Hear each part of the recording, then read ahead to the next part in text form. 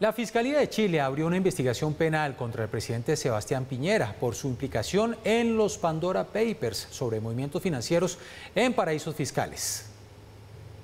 La Fiscalía de Chile informó de la apertura de una investigación de oficio contra el presidente del país, Sebastián Piñera, luego de que los documentos filtrados en los llamados Pandora Papers expusieran las presuntas irregularidades en la venta de acciones del proyecto minero Dominga en 2010 la cual se efectuó en las Islas Vírgenes Británicas, territorio considerado paraíso fiscal. El fiscal nacional, con fecha de hoy, 8 de octubre,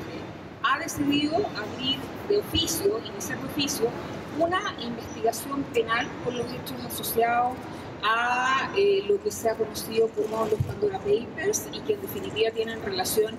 con eh, la compraventa de eh, la minera Dominga vinculada a la familia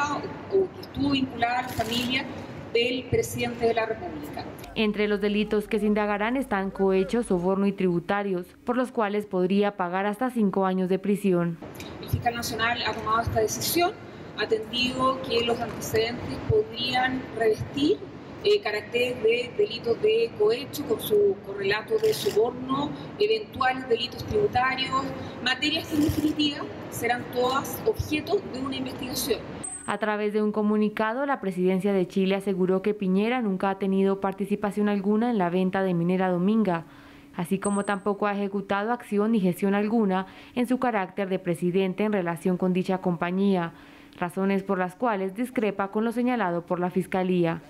El reciente anuncio se da luego de que diputados chilenos de la oposición anunciaran que presentarán una acusación constitucional contra Piñera que de prosperar puede llevar a su destitución o causar su inhabilitación para ejercer cargos públicos.